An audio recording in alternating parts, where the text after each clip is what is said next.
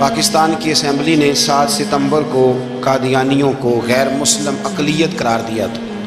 अल्लाह ताला उस असम्बली में जिस किस्म के भी, जिस तरह के भी अफराद थे, जिन्होंने भी इस करारदाद में थोड़ा सा भी हिस्सा लिया, अल्लाह उन्हें बेहतरीन जजा आता फरमा। और मुझे उम्मीद है कि अल्लाह इसका हर उस शख्स को जो उस वक़्त असम्बली में बैठा था, और अल्लामा नौरानी रहमत ताला की करारदाद पर जिस, जिसने भी उनका साथ दिया था मालिक उन्हें इसकी बेहतरीन जजा आता फरमा।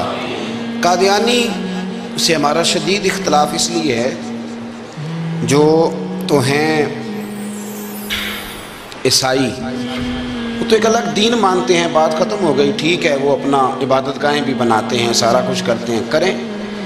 कादियानी का ये मसला है कि वो दीन इस्लाम के अंदर नकब जनी करता है। वो दीन का हुलिया बिगाड़ता है। वो कहता है कि नबी पाक सलाम के बाद भी कोई नबी आ सकता है।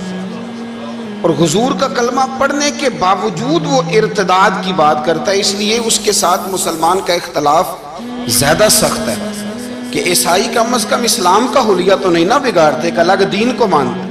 और ये कलमा पढ़ के, कुरान पढ़ के, एक नए नबी का तस्वुर पेश करके एक ऐसा दरवाज़ा खोलते हैं कि जो दीन की सारी शक्ल सूरत को बिगाड़ देगा।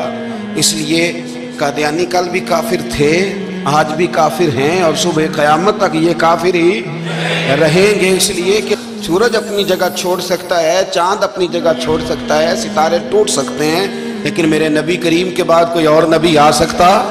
ये दरवाजे नबूवत बंद है। चूँकि अलकुफर मिलतवाहिदा काफिर एक पूरी जमात का नाम है। तो वो इस तरह करता है कि किसी भी ऐसी ताकत को जो इस्लाम का हुलिया ख़राब करने वाली उसे सपोर्ट करता है। और उसको वो आज़ादी राय का नाम देते हैं। तो हम कहते हैं कि भाई, आज़ादी राय और होती है, लेकिन किसी दीन के अंदर शामिल हो के उस दीन का हुलिया बिगाड़ना, ये बात और होती। इसलिए कादियानी गैर मुस्लिम अकलीत हैं। उनको चाहिए अकलीत की तरह वक्त गुजारें।